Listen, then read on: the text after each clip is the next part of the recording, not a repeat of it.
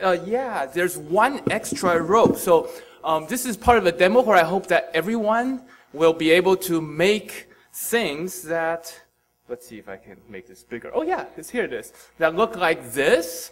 Um, we're, we've been making things like this and this. I'll, I'll pass it around later, but basically um, it's a kind of braid and we use rope to make it. Uh, typically, you, you, you, see those braids, sorry, you see those braids more often when uh, people use uh, hair to do it. But if you use rope and make it go around and around, you know, whereas with hair, um, you need kind of, for example, three uh, what do you call those batches of hair, and each of them will participate in the braid, or maybe five or seven or six. But uh, with rope, you can make it go around, so you actually only need one length of rope, which is what I hope each of you have in your hands. Thank you. Uh, who wants? I'm sorry, we actually didn't bring enough. So um, if are we all out? we're out. Okay, so if you're not going to, you know, this is really optional, so if you don't have to participate, but if you're not using a length of rope, please, I don't know, sort it backwards uh, so that somebody else can use it. Okay, so here's what we're going to do. Uh, can, can you move it? The, screen is not relevant anymore, so I hope you could just look at this instead.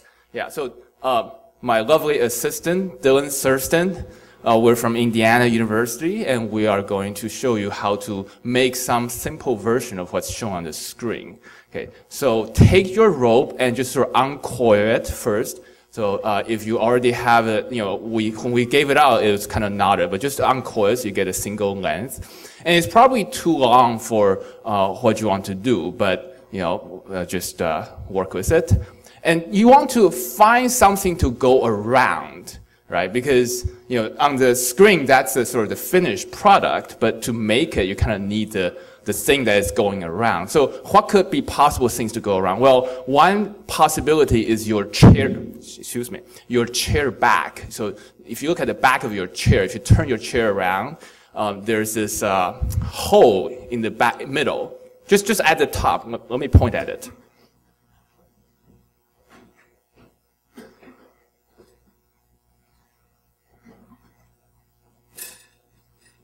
Like there, yes. Uh, oh, wow. This is the first time an ICFP speaker, speaker has been told to stay farther away from a microphone. Um, so, yeah, just the top of the chair.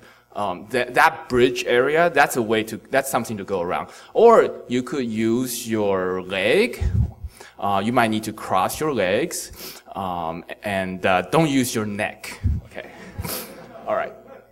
So uh, what you do is you kind of make, uh, you, you, start with a length and then you make it go around, okay? And uh, you, um, you want to uh, get to the point where you start to have a third round. Okay, so what Dylan is demonstrating is that you kind of go around and around and around. So you can see right now that there, there are three uh, there's one place where you can, you can also just use your palm, the palm of your hand, by the way, to go around. Sorry. Can, is that okay? All right, I'm just going to assume this is okay. Sorry about that. Okay. Um, so yeah, just, uh, so you can see, uh, this, the, what's on the coat rack is what you want to have right now. Okay? So, uh, let me walk around and just sort of make sure that whoever wants to do it, uh, is is having it. Okay? Okay. Because I thought if I walk around, I'll get farther away from the microphone. But go ahead. Okay, go ahead. Go ahead. Yes. So Dylan's going to going to help people out. Okay.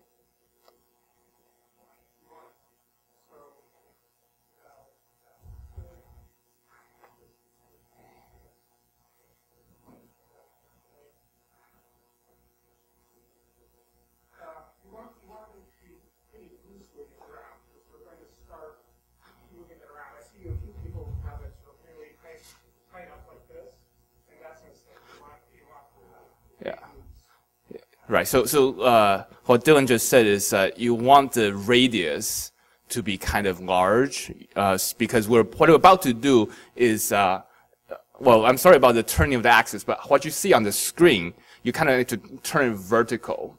Yeah. So that so, so the radius of what the loops you're making right now is going to be actually uh, even bigger, approximately, I think maybe root 2 times the final size of whatever is going around. So for example, if you use your leg, then it should probably be root 2 times the radius or diameter of your leg, right? Don't just put it tighter on your leg or you, later you're going to cut off circulation. Okay. All right. Huh? Are we ready? Yeah? Everyone's, everyone's got it? Great. Oh, thank you. Um, I hope, I hope, uh, oh, Phil, you, you, you, you asked first before you put a rope on. Okay. Good. Uh, now, what you do, uh, so on this, uh, what Dylan has is the rightmost loop is kind of the free end, you know, with a long piece of rope hanging off of it. Okay. Um, so in the following, I'm just going to assume that right means the free end. So take the right end and put it over the middle. So you're kind of switching it with the middle. So now the right has become the middle if you're reading the braid from top down. Yeah. So the, the so do you see what Dylan's doing? Um, the, now there is a crossing between the right and the middle. Okay. I really want you to get this. We have 20 minutes to explain this. So please, if you, if you don't see the crossing or you're not quite sure which way it goes, uh, well, I'm not sure if you can raise your hand, but raise something. Okay. All right. So now you switched right and the middle. So if you, again, you're reading the braid from top down, then the middle is now the, what used to be the right. The next step is to take what's on the left and also move it over the middle. Okay. Now, remember the middle is what used to be the right. Okay. So so now Dylan, so now Dylan has made that step. Okay. The, right on. Yeah, so first right over middle and second left over middle. Got that? So we got two crossings. Okay, that's all because what you need to do now is just to repeat. yeah. Okay, so, so let's practice. So there's a loose end, which you kind of started on the right and now it's kind of uh, moved to the left, but the end of that loose end is still to the right. So pull it through. Dylan's doing that now. Okay, so now it's coming out of the left. Okay. This is some, this pulling through is something that you just kind of do once in a while, for example, now. Okay, it's gonna get tight if you don't do it. So just, just, you know, when it gets kind of confusing, just pull the free end through. Okay, so the next step is the first step, which is right over middle. So Dylan's doing that. Okay, another, another right over middle. If, now, of course, what's currently on the right is not what used to be on the right. Yeah, so take the current right if you're going top down. I'm sorry for this imperative language, but if you're reading top down, yeah, take the current right and put it over the current middle. And again, then the fourth step is the same as the second step, which is take the current left, the free end, and put it over the current middle. Okay, so it's always over, and the steps are left over middle, right over middle, left over middle, right over middle, and just keep repeating that. And as you keep repeating that, you kind of want to go down. So just turn, turn the three strings like that, Dylan is doing, yeah, as you work so that you're always sort of facing what's the current point where you're working. And you just keep repeating that. Again, once in a while, pull the free end through. Sorry. That's it. Please, please, uh, please repeat until you either use up the radius or circumference that you left yourself, or maybe you used up the rope. Probably you'll use up the circumference first. So, uh, Dylan is doing that. This is not a race. Say again? Okay. Oh, who's winning? Oh, well, I don't know. If you're, if you're having more fun, then you win. Yeah. Uh, the question was, wouldn't this be uh, easier with three strings? Well, yeah, it would be, but then you end up with sort of a lot of free ends, right? I thought we, I would have said we do have three strands right now. Uh, Yeah, so, uh, Yeah, so so it would be nice to. Oh, so maybe what what the comment is uh, for pedagogical purposes. Yeah, it would have been good to have maybe I, what I would have loved, and some people actually make this. You know, rope where was one section that's red, one section that's blue, one section that's green, uh, and we're going to see that uh, in a minute. Actually, we're going to draw that, but right now the actual physical rope uh, we have, sorry, is not dyed. The question was, what did I do wrong at the very beginning? ah, huh.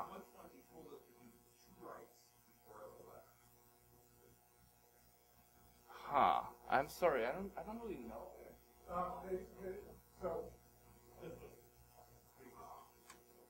Um, right. So you're always doing right over mid, right to middle, then left to middle, um, and do, do them one at a time. And at some point, Ken did say, do right over middle, again, do right over middle. And he was just emphasizing that that's the next step rather than saying do it twice. But, um, and the answer to what was going wrong over there was that you only want to be working with the strands that are in front of, of the chair. Um, so no, don't work with a doubled set of strands, uh, work with a single set of strands.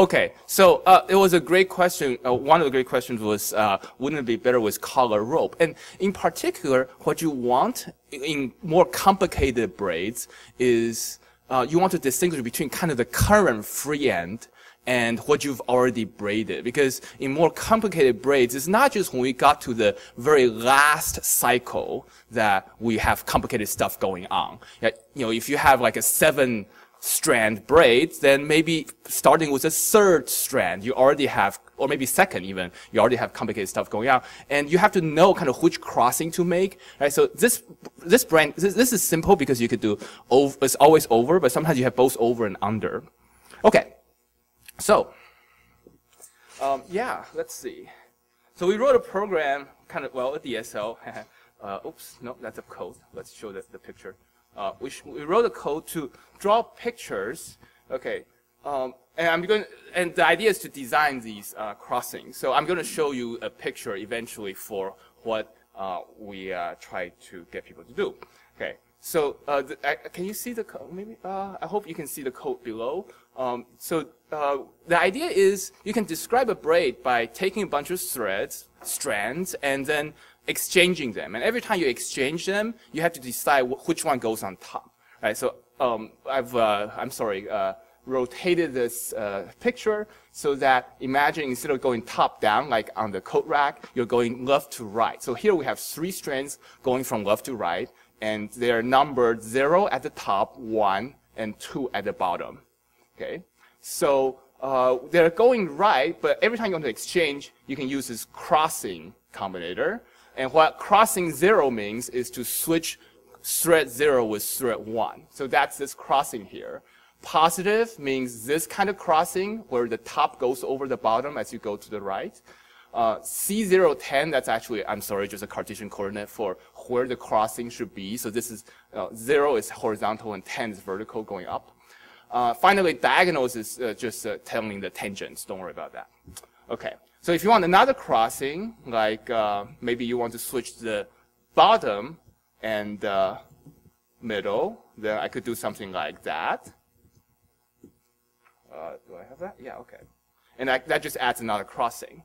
Okay, and this is actually not the crossing we want, right? Because this is bottom under middle. We want bottom over middle, which is called negative. So I change that to negative, and that ch changes the crossing.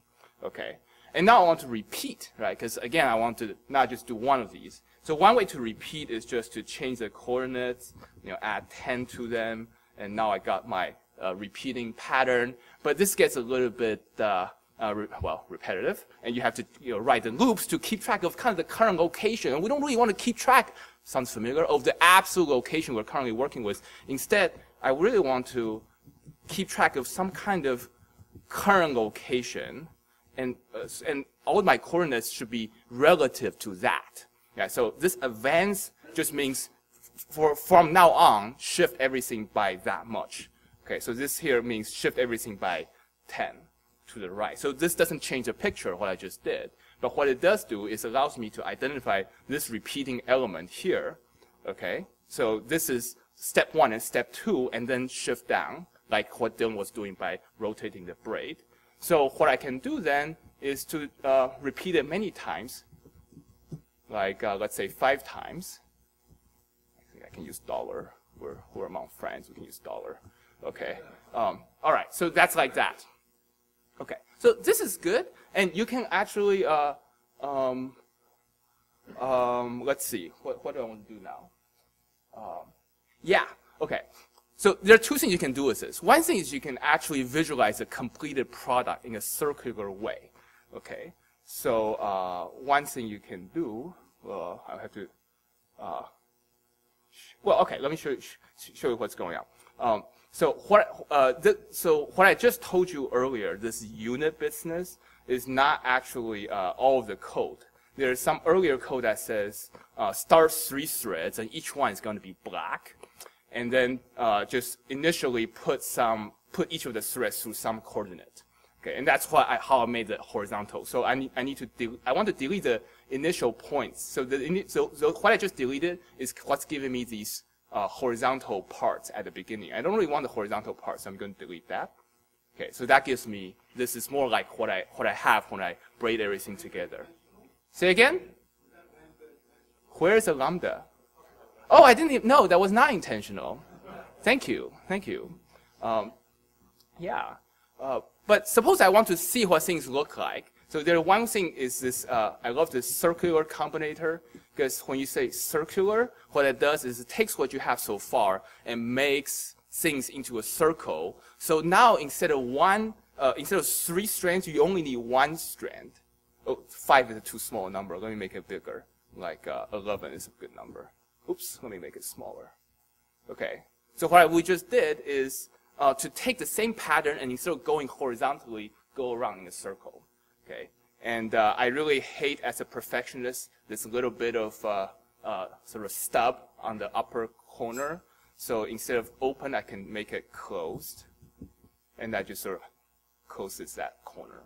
Okay, so now it's perfect. Okay, but thank you. Oh, let me just show you one, one more thing, which is how you make these. Okay, um, actually to make these, uh, you don't want to make it circular because you know it's nice to see the finished product because it gives you no clue how to how to uh, start off. Okay, so instead, what we can do is uh, uh let me show you this. Okay, so I'm going to uh, put the same picture of the same braids three times, like that. But I'm going to time the pen down command. Think of begin as pen down. Okay, so I'm going to start with one, only one thread, and then as the braiding continues, I can see the picture of what happens when I add the next thread. But what actually happens is that this is like one of those time travel puzzles, right? Where, where you've come back to the beginning of the loop, and this new, what looks like a new thread is really what you made, you know, a, few moments ago, 2 pi ago, 360 degrees ago. Okay, so so the so you want to work with your previous self, and by the time you get the third time around, you're working with your two previous selves. Okay, so what's really helpful here is, um, can I do that? If I color the initial one red, I'm sorry, uh, yeah, let me just color. If you color the initial one red, then you can tell that red is what you're currently working with, the free end and the black is what you've uh, what, what you've already done. So at the by the time it gets more complicated, you can tell which crossing is which. Okay, um, that's all I want to show you. Um, there are some, yeah, Dylan, you have things to say. Yeah. So just one thing to notice here is that uh, in the middle section there, when we just had two strands, there those two, there's some crossings, but actually you could just undo those crossings. And that's why we started off just looping them around twice. In more complicated patterns, you might have something more complicated in there, and you need to plan ahead a little bit more. Yeah, so, so, so I'm going to show you one example of that planning ahead.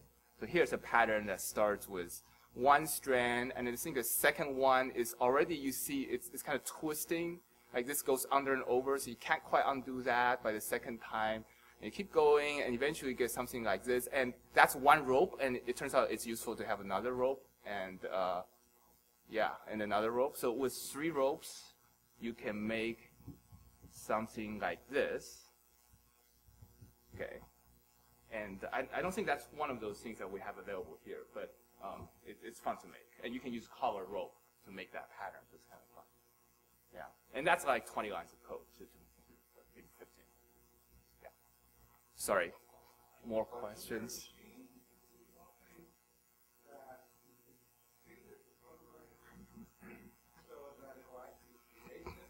So Dan wants a machine, which is not a person.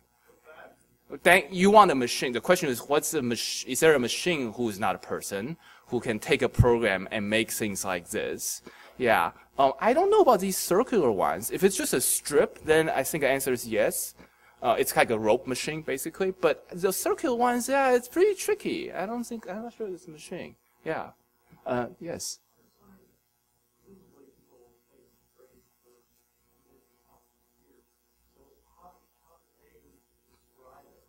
Yeah. Yeah. Um, there's this. Con- uh, let me. S- so, so the question is, uh, you know, people make these braids, braids all the time. How do they describe these braids? And I'm having trouble finding there's like a canonical book where they have these braids described, not the circular ones. And what they do is they describe the switching. They decide which one to switch with which other one. And there's these tools you can use to make organize all the strands you have lying around. Um, and the, the, the description is basically this over that, this over that. And you just keep doing that. Yeah. I forget, I, I, I don't have the book here, but sorry. Yeah. If I study your code online, will I be able to find out what I did wrong? So the question is, if, if, if I study your code online, would I be able to find out what I did wrong? I wouldn't call it wrong, but just different. Yeah, I hope so. But um, we, we'll, we'll, uh, let, us look at what you did in a, in a minute. It, it's beautiful. Thank you. Yes.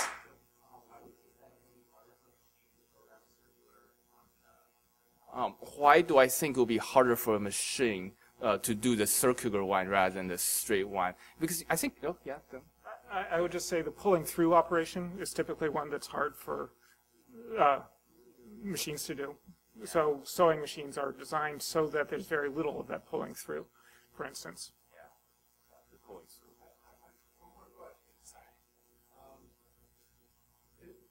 This could be some, somebody's copy, or this could be related to their research, especially if they were professors in college.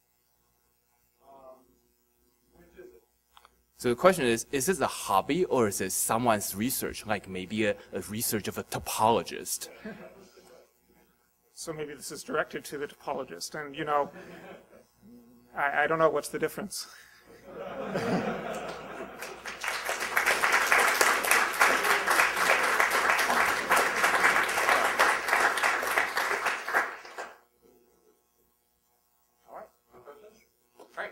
Thank you very much. Uh, that's the end of the morning session. Uh, we, we've actually uh, finished a few minutes early. I do have one request for all of the presenters.